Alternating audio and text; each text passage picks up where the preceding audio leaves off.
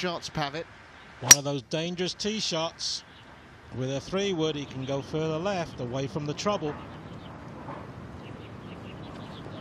Oh, well, took it down the right side. Pavit can strike one here. A little anxious. Right flank. Okay. Have to sort of be pinpoint accurate in where you land the ball. Everything kind of funnels towards this hole. See, look at this. Look at that. That's pretty nicely played.